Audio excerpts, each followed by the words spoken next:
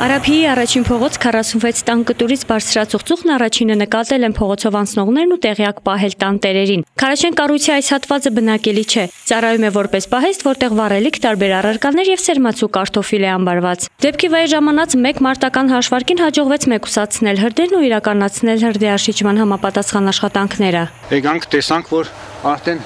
տան կողմի հարակից մասում, կողմի հատվածում անասնակերեր, կարտոշկայի լսված և անասնակեր ծղոտ այրվում էր անմիջապես ձեռնագեցինք համապատասխան միջոցներ, հրդեհաշիրման աշխատանքներ կատարեցինք, քանման աշխատանքներ կատարեցինք։ Հրդեհը ցակել է որպես պահեստ ծառայող այվազյաններին պատկանող տանային հատվածում, որտեղ մոտավորապես 8 տոննա սերմացու կարտոֆիլ է ամբարված։ Պաշտպանվելու համար ծղոտ ենք լցե պատերի մոտ, որ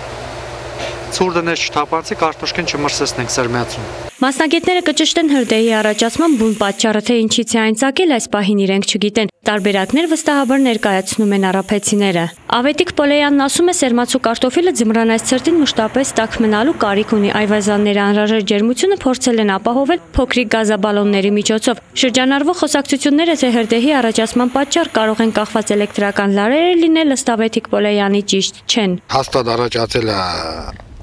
ներսի տակածումից տակասվել է փոքր գազի բալոններով, քանի որ կարտ կարտոֆիլը եղել է սալոմով ծածկված, փոքր գազի բալոններից առաջացել է ուժեղ խոսք եւ բռնկվել է են էլեկտրական լարերն են եղել կախված։ Ոչ, էլեկտրական լարերը, հին էլեկտրական լարեր են եղել, դրանից մեջը հոսանք չի եղել, հոսանք հոսանքով չի օգտվել այդ